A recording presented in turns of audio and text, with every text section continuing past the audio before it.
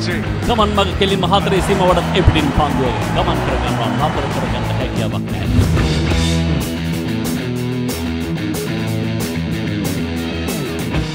අයිබුවන් ප්‍රියමිතුරණි පිටිය කතා දිග හැරෙන්න්නට නියමිතයි. සුපුරුදු කාරණාවක් සුපුරුදු ලෙංගතුකමත් එක්ක බෙදහදාගෙන අද දවසේදත් පූුණකරුවෙක් හිටපු ක්‍රේට් ක්‍රඩකෙක් ඒත් එකම විශ්ලේෂණාත්මකව ක්‍රඩාවදයා අවධානයම් කරන එක මලින්ද වර්ණපුරන්නවා මාත්‍යක ගමනාරම් කර අයිබන් අයිබෝන් පරිසමට යන්න තින ගමනක් මොකද ප- කතා පටන් ගන්නේ අ, පළමු එකම T20 තරගේ පිළිබඳ ශ්‍ර ලංකා කණ්ඩෑම සහ එංගලන්ත කණ්ඩෑම අතර පැවැත්වුණු. තරගේ ප්‍රථමයෙන් පන්දුර පාර්දු එංගලන්තය ඔබට මතකයි. ඔවුන් දෙවන්ත ලකුණු පුරුවක් හදාගත්ත ලකුණු එකසිය අසූ හතක් කඩුළු අටකට. හරියටම කිව්වොත් ඔවුන් හදාගත්තන මේ ශ්‍ර ලංකා කණ්ඩෑමේ සඳහා සෑහෙන උදව්වක් අනුබලයක් අ, ලබා දුන්නු ආකාරය තමයි දකින්නට තිබුණේ. ඒ කියන්නේ සමහර උඩ පන්දු තිනවා රැක ගැනීමට ඉතාමත්ම අපහසුය හැබැයි සමහරව තියෙනවා.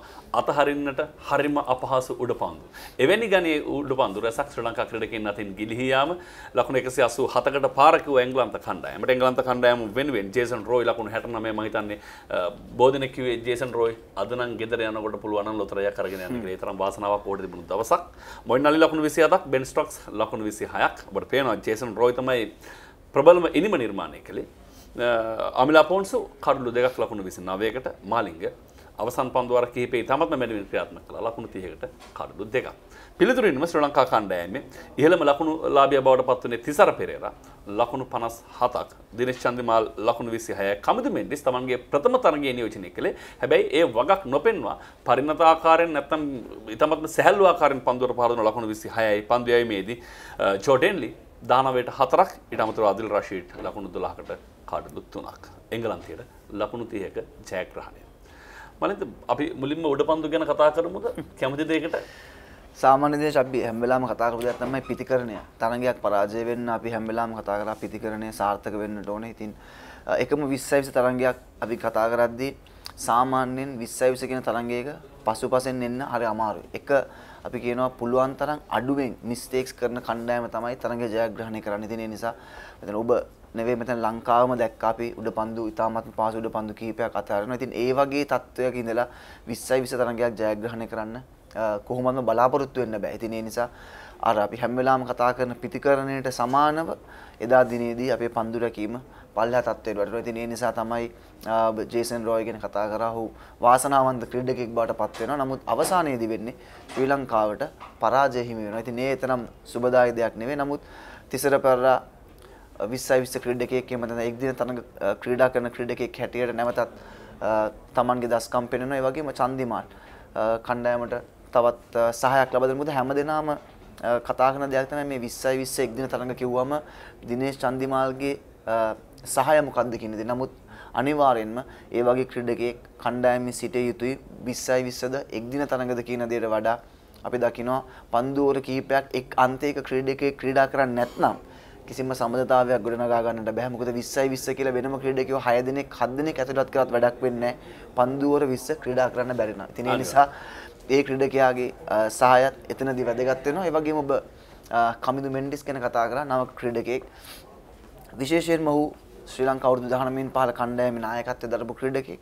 ඒ අත්දැකීම් ස- නිසාම තමයි ඔබ කියන්නේ ඔහුට අ, අලුත් තරගයක් පළමු තරගය කියලා කිසිම පෙනීමක් නැතුව ඔහු ක්‍රීඩා කරා. ඒ ඒක තමයි උදාහරණය වෙන්නේ මොකද ඔහු ජාත්‍යන්තර අවුරුදු 19 පහළ තරග රසක් ක්‍රීඩා කරපු ක්‍රීඩකයෙක්. ඒ වගේම පළමු පෙළ අන්තර් පළාත් තරග 20යි 20 තරග ක්‍රීඩා කරලා මේ ශ්‍රී ලංකා කණ්ඩායම නියෝජනය කරද්දී ඒ වගේ වෙනසක් අපිට දකින්නට ලැබෙන්නේ නැහැ. ඒ කියන්නේ ඒක ඊටමත් හොඳ සුබ ලකුණක්. ඒක මම මේ කාරණාව මුලින්ම මතක් කරන්න. ඒ කියන්නේ දැන් සමහර කෙනා ඒ ක්‍රීඩකයට හැදෙන්න අපි කාලයක් දෙන්න ඕන කියලා. හැබැයි කමුදු පෙන්눔 කළා නෑ. මම මෙතනට ආවේ ලෑස්ති වෙලා මට තවත් වෙනම අමතර කාලයක් අවශ්‍ය නැහැ කියන එක. මේ ඕනවට බර තබනව නෙමෙයි.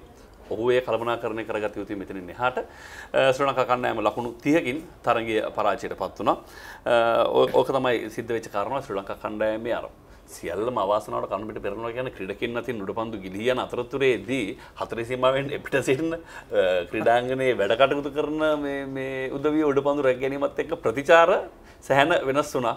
ඒක තමයි උදාහරණයට ගත්තේ. එතන තමයි අරම පුළුවන් නම් මෙහෙම බැරි ඇයි කියන ප්‍රශ්නාර්ථය. ඒක වෙනම එකක්. හැබැයි මේ මේවා මතක් කරන්නේ අ, මොකද සමාජය නිරන්තරයෙන් මේ පිළිබඳ අවධියෙන් අවධානයෙන් ඉන්න නිසා.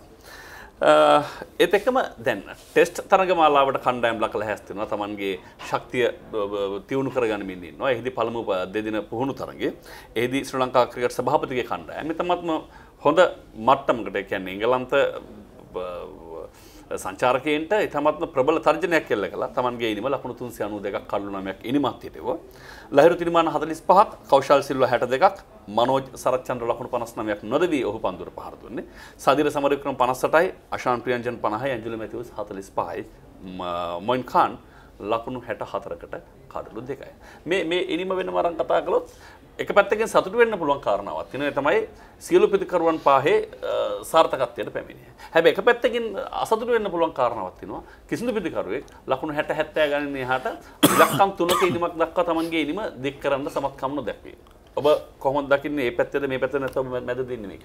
නෑ අපි දකිනවා ක්‍රීඩකයන් කිහිප දෙනෙක්ම අර්ධශතක ලබා ගත්තයින් පස්සේ ක්‍රීඩාගාරයට ගෙනෙනවා. ඉතින් ඒ නිසා මොකද ටෙස් සංචිතය මේ වෙනකොට නම් කරලා ඉවරයි. නමුත් වැදගත්ම දේ තමයි මේ වගේ ලකුණු පූර්වක් දැකීම ලකුණු 392ක් එක් දිනයකදී පන්දුවර 90ක් ඇතුළත ශ්‍රී ලංකා පිතිකරුවන් රැසක් සාර්ථකව ලකුණු අතරට එනවා. ඉතින් ටෙස් තරගයකට සූදානම් වෙන තරගයක් හැටියට මම හිතනවා ශ්‍රී ලංකා කණ්ඩායම ඉතාමත්ම හොඳ තරගයකට ක්‍රීඩා කරේ. මේ තමයි වැදගත්ම දේ. කණ්ඩායමක් හැටියට ලබා ගන්න පළමු ඉනිමේ ලකුණු සංඛ්‍යාව. ඉතින් මේදී පිතිකරුවන් කීප දෙනෙක්ම සාර්ථකයි. ටෙස් තරගයේදීත් පළමු ඉනිම මේ වගේ සාර්ථක ඉනිමක් ක්‍රීඩා කරන්නට ශ්‍රී ලංකා පිතිකරුවන්ට හැකියාව ලැබුණොත් අනිවාර්යෙන්ම එංගලන්තයට හොඳ තරගයක් දෙන්නට හැකියාව තියෙනවා. ඔය හිදී පිතිකරුවන් 6 දෙනෙක් ඉතාමත්ම හොඳ ඉනිම් වාර්තා කොට තිබුණා. පිළිතුරු ඉනිම එංගලන්තයත් දෙවන වුණේ නෑ. ඔවුන් කඩළු හතකට ලකුණු 365ක් ලබා සිටිය පන්දුවර 90ක් නිමාවේදී ජෝරුට් ශතකයක් වාර්තා කළා. රූට් මේ මේ මේ තත්වයට පත්වීමේ තරම් හොඳ හිතකර කාරණාවක් නෙමෙයි මොකද ඔහු පදම් වුණාට පස්සේ පිටින් ඉවත් කරන්න හරිම පහසු පිටිකරුවෙක් තාක්ෂණය සහිත ඊට අමතරව මොයින් අලි ලකුණු 60ක් රොයි බර්න්ස් ලකුණු 47ක් ජොස් බටර් ලකුණු 44ක් නිෂාන් පීරිස් ලකුණු 108කට කඩලු තුනක්. අතරතුරේදී බට්ලර් ගැන කතා කළා මතක් වුණේ ශ්‍රී ලංකා පන්දු රකින්නේ කාබාදයට ලක් වුණා පැතුම් නිසංක මුලින් දැනගන්න හම්බුනේ තරම් ප්‍රශ්නයක් නැහැ කියලා. පසුව තරමක් ඒ කියන්නේ බරපතල නොවේ නමුත් අර තිබුණාට වඩා තත්ත්වය යම් යම් ප්‍රශ්නකාරීත්වයන් මතුවී තිබුණා කියන එක අපි හැමදෙනාගේම ප්‍රාර්ථනය උට ඉක්මන් සුවය ලැබෙන්නට කියන කාරණාව.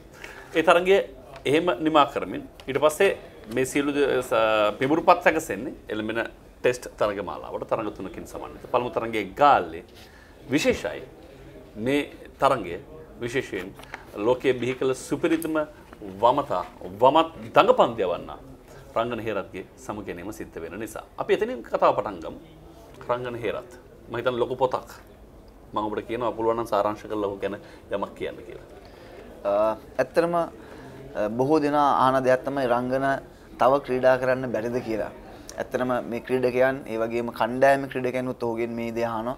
නමුත් මේ වෙනකොට ඔහු ආබාධයන් රසක් එක්ක තරඟ කිහිපයක්ම ක්‍රීඩා කරා ලංකාව වෙනුවෙන් නිසා ඔහු දැනටත් ලෝකයේ සිටින දක්ෂතම දඟපන්දයවන්න ඉතාමත්ම කෙටි කාලයක් තුළ දස්කම් අතින් ඉහළම දස්කම් දක්වලා ශ්‍රී ලංකාවට ජයග්‍රහණ රැසක් ගෙනල්ලා දෙන්නට පුළුවන් දක්ෂතම දඟපන්දයවන්නට මා දකිනවා මොකද ඔහු කාලයක් කණ්ඩායමේ හිටියත් ඔහුට කණ්ඩායම නියෝජනය කරන්න ලැබුණේ නැහැ. මුත්තයා මුල්ලදරන් ක්‍රිකට් ක්‍රීඩාවෙන් අයින් වුණාට පස්සේ තමයි ඔහු තමන්ගේ භූමිකාව ආරම්භ කරන්නේ. ඉතින් එතන ඉඳන් මේ වෙනකොට ශ්‍රී ලංකාව ලැබපු ජයග්‍රහණ අරන් බැලුවොත් ඒ හැම ජයග්‍රහණයකම රංගන හේරත්ගේ නම ඉතාමත්ම හොඳින් සටහන් වෙනවා. ඒක ටෙස්ට් වලට විතරක්ම නෙවෙයි. ඔබට මතක නම් ලෝක කුසලාන තරඟවල නවසීලන්තයත් එක්ක පැවැති සෙමි ෆයිනල් තරගයක මේ වගේ 18ක් බේර ගන්න. ඔව්. ඒ වගේ දක්ෂකම් දක්වපු ක්‍රීඩකයෙක් ඇත්තටම හදවතින් අපි ඌට සුබ පැතුවා ක්‍රීඩා කරද්දී නමුත් මේ වන විට ඔහු ඇත්තෙන්ම මේ අවසාන ටෙස්ට් තරගයේ ගාල්ලේ ක්‍රීඩා කරද්දී ඔහු කතා කරලා ඇහුවා කවදාද මේ තරගයේ බලන්නට. ඉතින් අනිවාර්යෙන්ම අපි ක්‍රීඩකයන් හැටියට ප්‍රේක්ෂකයන් හැටියට ඔබටත් හැකියාව තියෙනවා පුළුවන් නම් මේ තරගය බලන්න එන්න ගාල්ල ජාත්‍යන්තර ක්‍රීඩාංගණය මොකද දක්ෂතම ක්‍රීඩකයෙක්ගේ අවසාන ටෙස්ට් තරගයේ තියෙන නිසා අපි ඔහුට සුබ පතනවා ශ්‍රී ලංකාව වෙනුවෙන් මේ තරම් ජයග්‍රහණ රසක් ඔහු ලබා දුන්නා. ඒ වගේම ආබාධයන් අමාරුකම් මැද්දේ ඔහු Tamanගේ කණ්ඩායම නියෝජනය කරලා තියෙන නිසා ඔබගේ සේවය ආගය කරන්නට ක්‍රීඩකෙක් හැටියට ප්‍රේක්ෂකෙක් හැටියට හැමදාමත් ඔබ ශ්‍රී ලංකාව වෙනුවෙන් විශිෂ්ට ක්‍රීඩකයෙක්. ඔව් නිහතමානී විශිෂ්ටයෙකුගේ සම ගැනීම තමයි රංගන හේරත්ගේ සම ගැනීම උදෙසා කියන්න තිබුණ ශීර්ෂ පාඨය. කෙසේ වෙතත් මට මතක් වෙන දැන් ඔහු ගැන කියද්දි ජස්ටින් ගැට්ලින්. ඒ කියන්නේ ලෝකයේ මෙතෙක් බිහි වුණු වේගවපම නිසා උසෙන් බෝල්ට් නිසා ඔහුට කිසිම දවසක එන්න හැකියාවක් ලැබුණේ නැහැ. හැබැයි උසෙන් බෝල්ට්ගේ සම ගැනීමේ තරඟයේදී ඔහු එනවා බෝල්ගේ තැන හිමි කරගන්න. ඒ වගේ මුරලි මුරලි සිටින තාක්කල් ලොක බිවෙච්ච සුපරිතම දකුණත් පිටදඟ පන්දය වන්න ඉන්නකම්ම ඒ රශ්මි බලල්ලේ රංගන හෙරත් මදක් වෙසී ගොස් තිබුණා. නමුත් එක පාර හිරු හිරු දෙකක් බයන්න අවශ්‍ය නෑ මොකද එක්කෙනෙක් සේවය හමාර කරට පස්සේ අනිත් කෙනා සේවය බාරගත්තා. අවශ්‍ය තැනදී තමන්ගේ කාර්යභාරයට කිරීම රංගන හේරත්ගේ විශේෂත්වය. ශ්‍රී ලංකා සංචිතය නම් කර තිබෙනවා දිනේශ් චන්දිමල් නායකයා. සුරංග ලක්මාල් ඇන්චලෝ මැතිවස් දිමුත් කරුණාරත්න කෞශල් සිල්වා කුසල් මෙන්ඩිස් ධනංජය ද සිල්වා රොෂෙන් සිල්වා නිරෝෂන් දික්කල් රංගන හේරත් දිල්රුවන් පෙරේරා අකිල ධනංජය එතකොට ලක්ෂන් සඳගෙන් ලහිර කුමාර කසුන් රාජිත මලින්ද පුෂ්ප කුමාරවත් කැඳවා තිබෙනවා. මේ සංචිතයෙන් ගල්ලෙ පැවැත්වෙන පළවෙනි තරගය සඳහා ක්‍රීඩා කරයි කියලා මලින්ද විශ්වාස කරන්නේ මොන කණ්ඩායමද?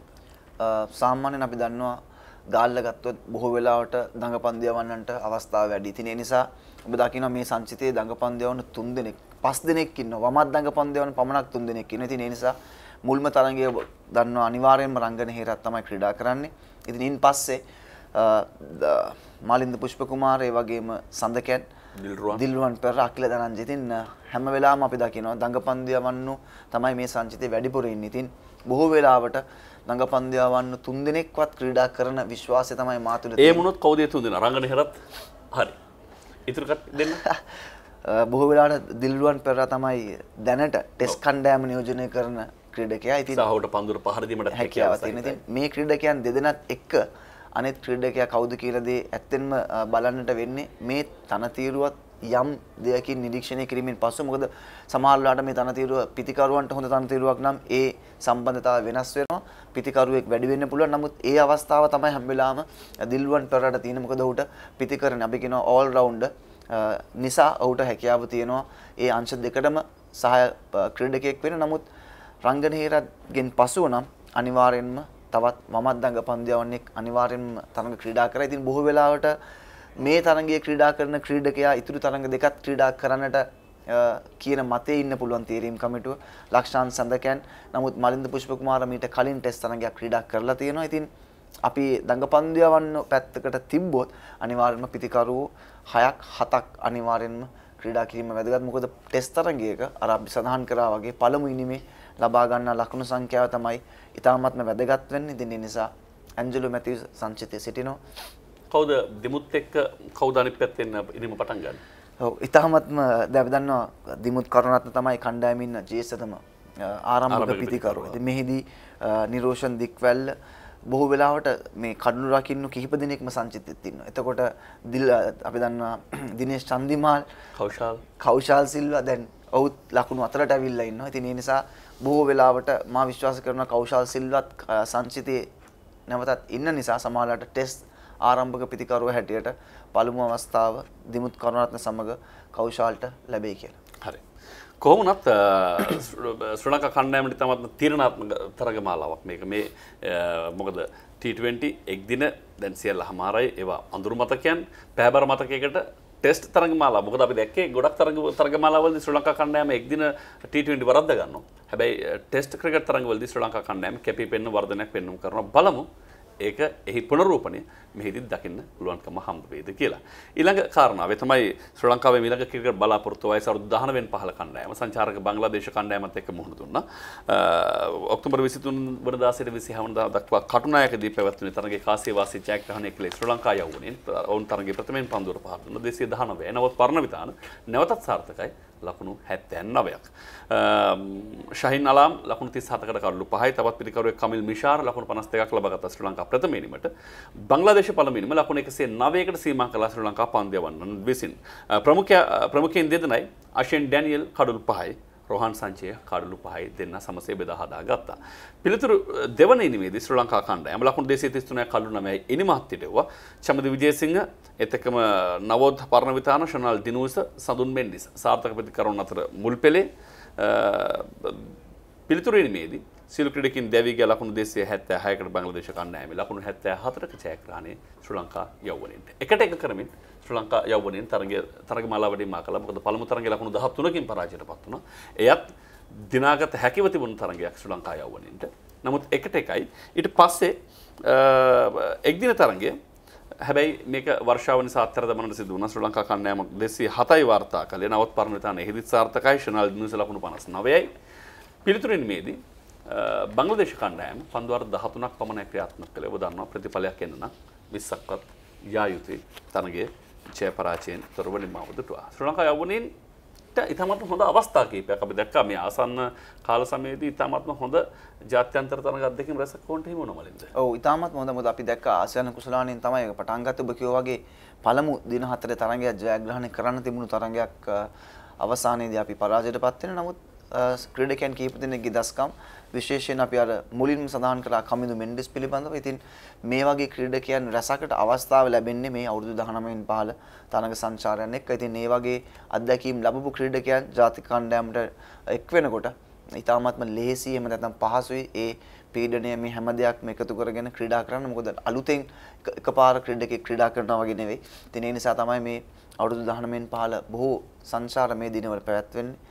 එහිදී අපි සඳහන් කරා වගේ මේ 20යි 20 එහෙමත් නැත්නම් අපි කියනවා 2020 තිබෙන ලෝක කුසලාන කණ්ඩායම තමයි කණ්ඩායමට හරියන ක්‍රීඩකයන් තමයි මේ මේ වන විට මේ බංග්ලාදේශයත් එක්ක ක්‍රීඩා කරන්නේ තරුණ ක්‍රීඩකයන් රැසක් එහෙමත් අපි කියන අවුරුදු 17න් පහළ කණ්ඩායම නියෝජනය කරපු ක්‍රීඩකයන් රැසක් මේ කණ්ඩායමේ සිටිනවා. ඉතින් අනාගතය පැත්තෙන් ගත්තොත් අපි තාමත්ම බයක් නැතුව ඉදිරිපත් වෙන්න පුළුවන් මේ ක්‍රීඩකයන්ගේ දස්කම් දකිනකොට. හරි.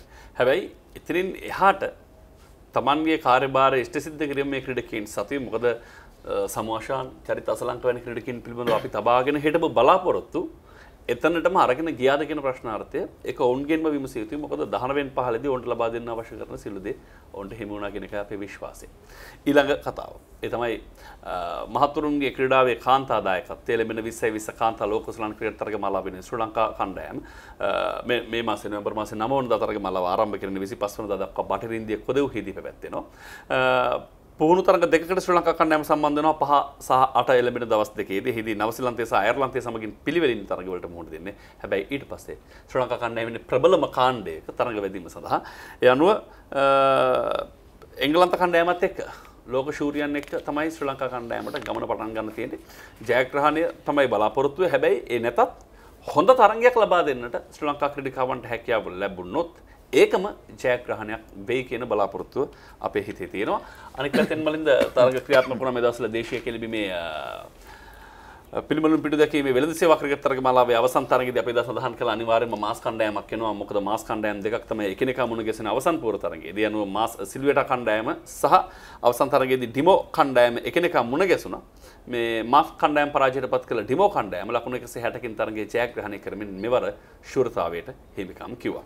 අනෙක් පැත්තෙන් වෙළඳ සේවා B කාණ්ඩයේ මේක රවුන් රොබින් ක්‍රමයට මේ සිල්ම කණ්ඩායම් එකනික මුණ ගැසෙන ආකාරයට පැවැත්වෙන්නේ. එහිදී පළමු වටේදී පළමු වටේ නිමාවේදී B කාණ්ඩයේ පෙරමුණ ගන්නට සමත්කම් දැක්වේ කැන්රිච් ෆිනෑන්ස් කණ්ඩායම. තරගමාලාවේ තවත් තරඟ කිහිපයක් ඉදිරියට පවත්වන්නට නියමිතයි. දිනේශ් ඒදී මේ පළමු අපි කියන A ඩිවිෂන් තරඟාවලියේ මේ සිල්වර්ටා කණ්ඩායම ජයග්‍රහණය කරන්නේ පළමු වතාවට තමයි යවුන් ඒ කණ්ඩායම නියෝජනය කරන්නේ. මීට කලින් වසරේදී යවුන් B කොටසේ ශූරතාවය ලබා ගනිමින් තමයි මේවර ක්‍රීඩා කරේ.